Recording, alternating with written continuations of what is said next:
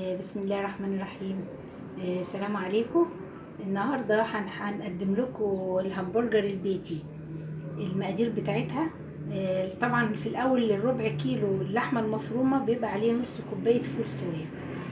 قبل ما تتبل قبل ما تبوش خالص فاحنا النهارده معانا المقادير كيلو لحمة ومعانا كوبايتين فول صويا بعد النقع اهوت. ومعانا معلقة كبيرة جنزبيل معلقة كبيرة فلفل أسود معلقة كبيرة ملح معلقة كبيرة آه، توم powder معلقة كبيرة بصل powder نص معلقة زعتر. ومعانا قد 3 معالق أو 4 معالق كاتشب. دي طبعا إحنا أول حاجة هنحط المقادير كلها على بعض إن إحنا هنحط التوابل. وهنحط كلها كلها مع بعضيها. ومعاها كمان الفول الصويا. ولازم طبعا إن إحنا نقلبها ونضربها في الخلاط شوية على أساس إن هي تخش في بعضيها يعني تتعجن. لو في عجان كمان كان ممكن نعمل بالعجان لكن إحنا هنبتدي نعجنها جامد.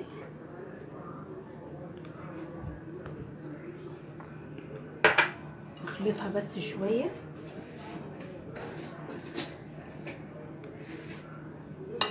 وطبعا إيه نضربها في الخلاط كله كله مع بعض فخلاص هي كده. إن شاء الله. الخلاط بتاعنا نبتدي نضرب حبة حبة.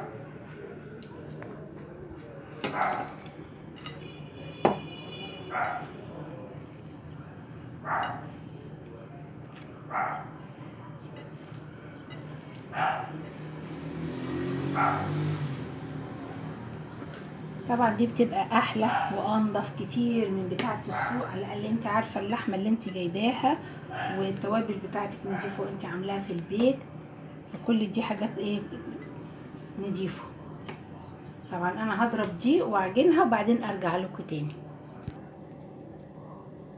ورجعنا لكم بعد ما ضربناه في الخلاط. طبعا عجناه في العجان أو عجنتيها بإيديكي أو في الخلاط اللي هو الكاتش ماشين أي حاجة. بعد ما كده بنحطيناها في التلاجة طبعا قد ربع ساعة ونص ساعة مسكت نفسها شوية عشان نقدر نعملها وجينا دلوقتي عشان نعملها لكم. آه هنبتدي ناخدها. نكون جايبة طبعا كيس. لو انت ما عندكيش اللي هي المكبس عادي خالص هتقدري تعمليها. بنجيب الكيس ونبتدي نكعورها كده ونحطها ونبتدي نقفل عليها الكيس زي المنديل بالظبط. زي المنديل يعني نطبقها كده.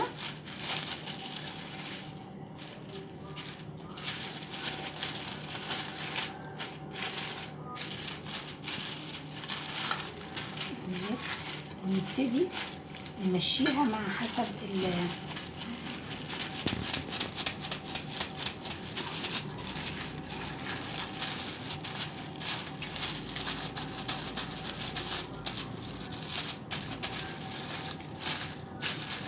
حاجة إن إحنا نكبسها قوي عشان هي ما تبقاش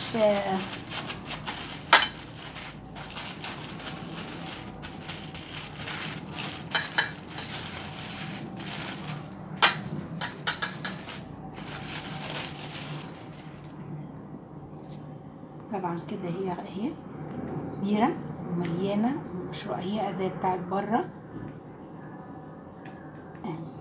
بنكون إحنا محضرين كيس نايلون مقطعينه برضو لأجزاء نبتدي نحط فيهم دي عشان ما يلزقوش في بعض.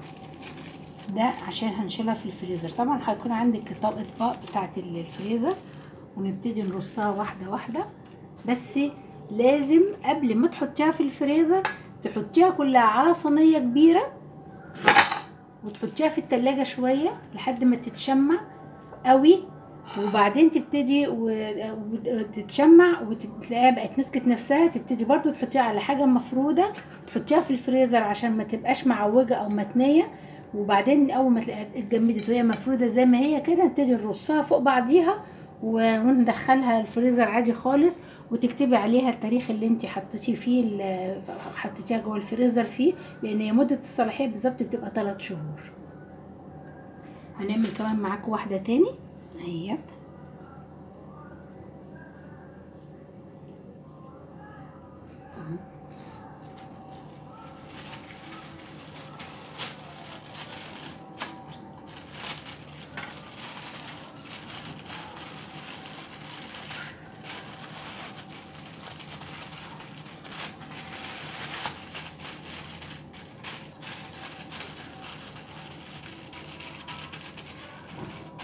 دي أنت تكبسيها كويس.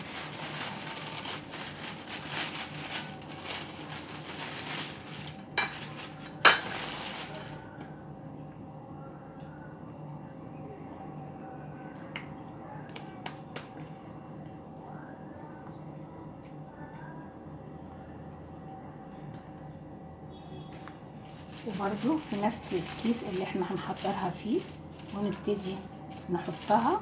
عشان أهم حاجة إن هي ما تلزقش في بعضيها.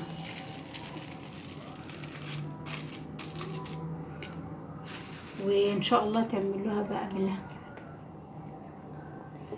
فطبعا أنا هكملها وهبتدي برضو أحطها في صينية وأشيلها. وعايزة أقول لكم بالهنا والشفا وهي صدقوني جربتوها تبقى جميلة جدا وهتعجبكم. ومع السلامة أشوفكم بقى في فيديو جديد.